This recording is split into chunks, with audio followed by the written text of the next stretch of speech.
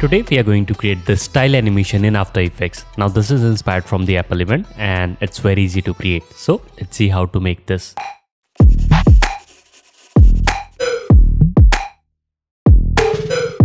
Before we proceed, I want to tell you that we just hit 100,000 followers on Instagram and I just want to thank each and every one of you who are following me over there. And in case you don't know about it, then make sure to follow because there are a lot of good tutorials and videos that you don't want to miss out. So make sure to follow motion underscore nations. And once again, thank you so much. Now let's begin with this one. Alright, so here we are in After Effects and you can see that I've already downloaded a couple of these images. So these are just some product images which you want to use. Just import them in After Effects and you are ready to go. After that, we will begin by creating a new composition. Let's call this one main. Width and height 1920 by 1080 frame rate. We can like keep it 30 and duration you can be whatever you want. Just click on OK. First, we will begin by creating a new solid. Let's right click solid and let's make it a little bit darker. Something around here just click on ok now first we are going to create our tiles so for that we need some guide in order to create like perfect tiles so first i'm going to like search for an effect let's search for grid and let's drag it onto this one. And over here we can change a couple of these points first i'm going to like set this to width slider. Now depending upon how much spacing you want between the tiles you can like play around with this width slider because this will only act as a guide. So while i was creating it i just set this to 50.2 this is i'm going to do it now. So now you can see we have the this gap. So i'm going to like align my tiles according to this. Also let's slow down the border because we don't want to like actually see it. We just want the outline. Perfect. So we will begin by creating our tiles first. So first i'm going to like select the shape tool. If you click and hold we can select the rounded rectangle tool. Now let's just simply click at some point and just drag. And it's completely up to you, can like create it however big you want. So i'm going to like create it something like that. Now uh, make sure that its stroke is set to none we don't want any stroke. And also let's go inside the rectangle. And under the rectangle path we have this roundness option. Now it's up to you however round you want. So i'm going to like set it to somewhere around 50 i think this looks good. Now let's quickly align it. So let's just zoom in. And i'm going to like align it somewhere around here. Perfect. Now here you can see we have this. We can probably scale this up. Now you can press s and you can like increase its scale however you want let's align its anchor point to the side somewhere around here so that we can like scale it from this side. And I just want these edges to like touch these grid. So here we have our first tile. Now I'm going to like create another one. So we can select this press ctrl D to duplicate this. Now all we have to do is just simply move it down below. And let's just place them like somewhere around here. We can probably like scale this up and let's just scale this something around here. Perfect.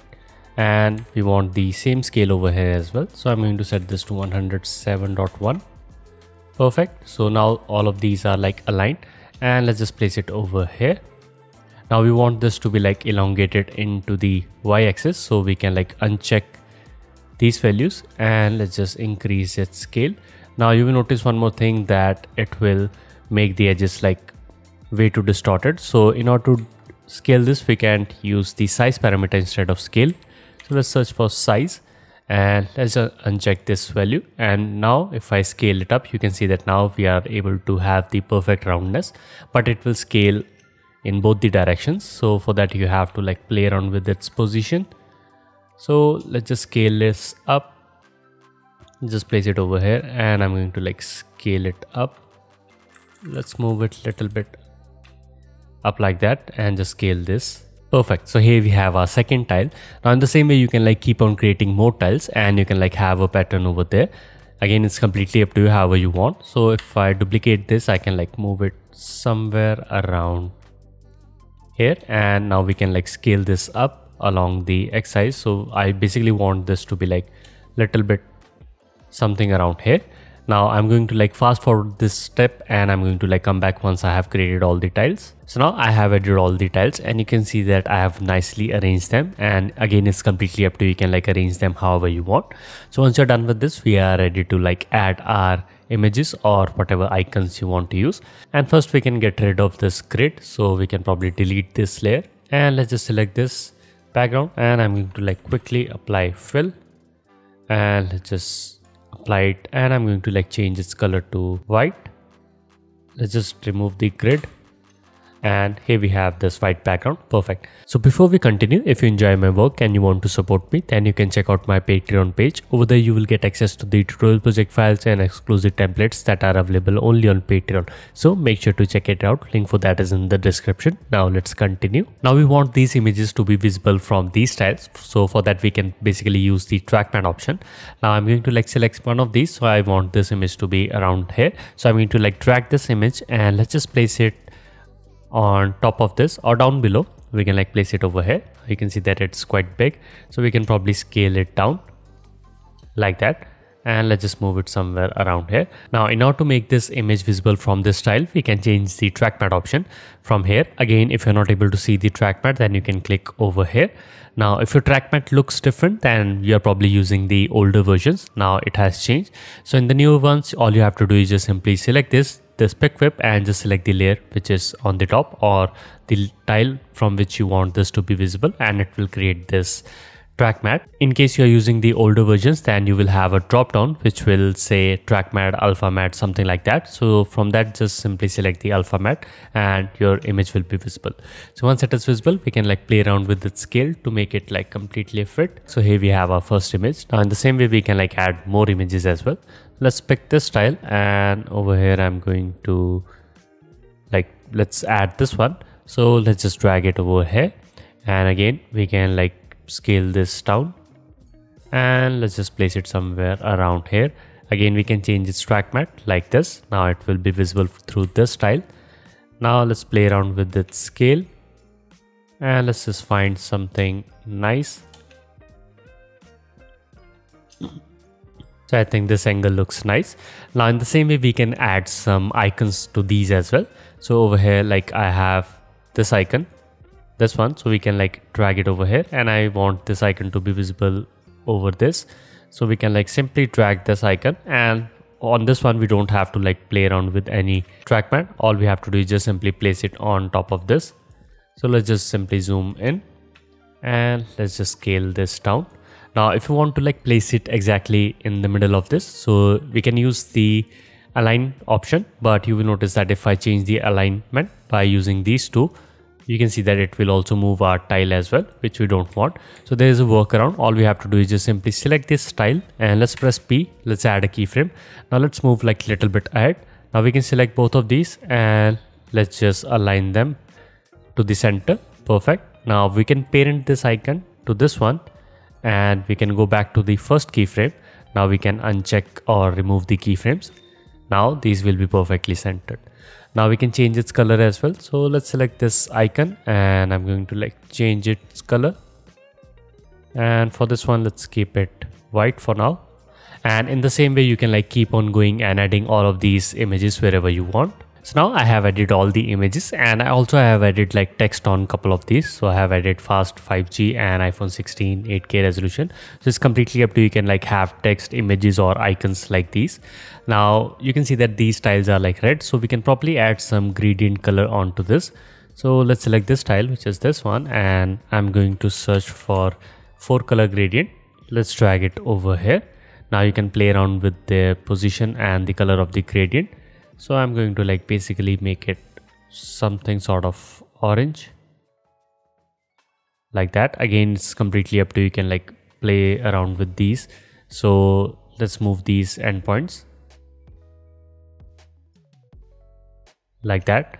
And it's completely up to you. you can like place them wherever you want. And you can do the same thing onto these tiles as well. So let me just quickly do that. So now I have added the colors to these tiles as well. Now our last step is to like animate them. And in order to do that, we can like simply select all of these layers, which are these boxes. So we can like select them. So let me just quickly do that. So I'm going to select all of these layers, which are these shape layers like that. And we can in fact change their color. So let's just set them to green so that we can easily select them later on as well if we need it. Now we can add keyframes for their positions. Let's press P and I'm going to like go somewhere around one second and let's add keyframe for position to all of these. So if I just click, you can see all the keyframes have been added. Now in the beginning, we can like start moving them out of the frame. So over here, we have this tile. So we can probably move it to the top like that. And we have this tile over here. So this one, we can like make it come from the right side. And let's select this, we can move it down below. So just move them wherever you think like they will look good so this one we can like probably have a simple scaling animation instead of position because this is in the center. So we can have a scaling keyframe. So let's add a keyframe over here. And in the beginning, we can like simply set this to zero. Let's select the other tile and we can also move it to from the top. Now if I press play, you can see all of these tiles are appearing, but we can tweak them further by simply selecting all of these Let's select these as well. Now you can press F9 to ease them. Let's go to the graph editor. Now if your graph looks different, then make sure you're using the speed graph, not the value graph. Let's change them to look something like that. Perfect. Now if I press play, you can see we have these tiles coming in. Now we can also have some animation to these images or these icons as well. So in order to do that, all we have to do is just simply select these icons. So let's select this, press P. And for this one we can have a keyframe over here. And in the beginning i'm going to like move it down below because the tile is coming from the top. So it will give a really nice effect like this. Now let's do the same thing with all the others as well. So over here we have these two text. Now in the beginning we can like move them to the top so first let's add keyframe for position. And let's move it over here. And in the beginning let's move them to the top. Like that. Yeah i think this looks good. Let's do the same thing with this text as well. Again we can like have a simple position keyframe.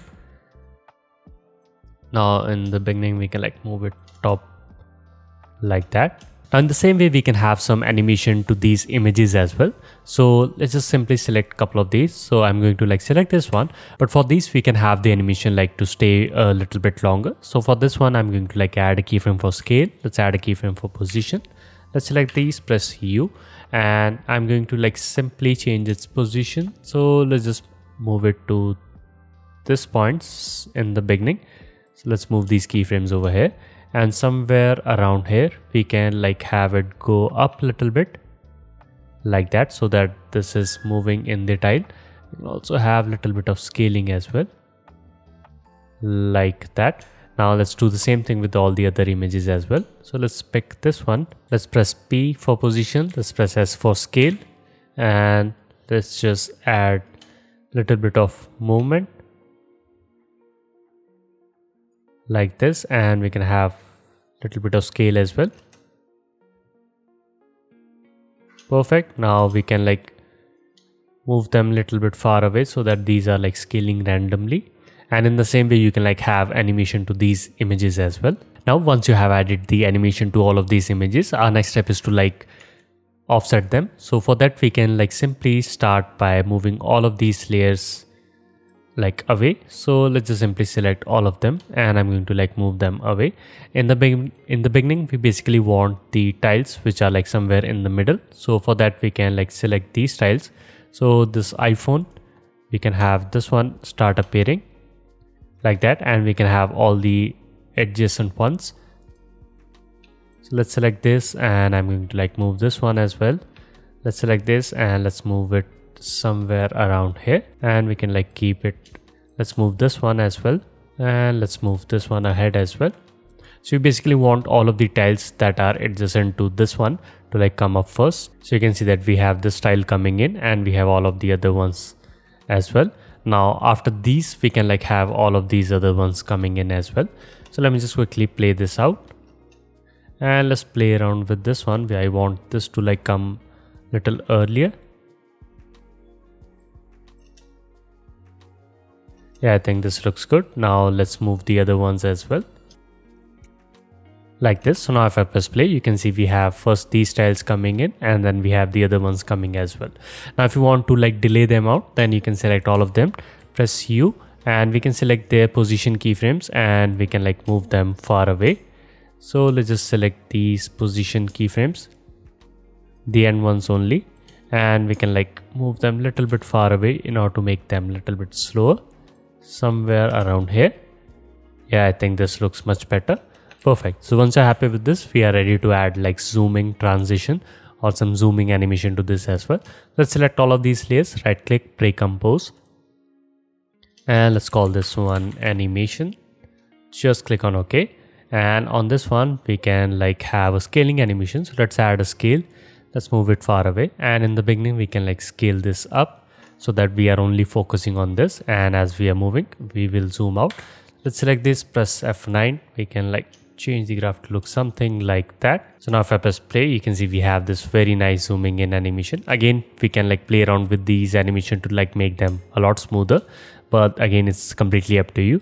You can play around with the background as well. You can have like some gradients whatever you want. Again it's completely up to you do whatever you want to do with this. So this is how you can create these kind of tiles animation and the project files for this tutorial is available on Patreon. So if you're supporting me over there then you can download it from there and if you're not then you might consider it because you will get access to the tutorial project files and exclusive templates that are available only on Patreon. So with that being said my name is Abhishek and I'll see you in the next one.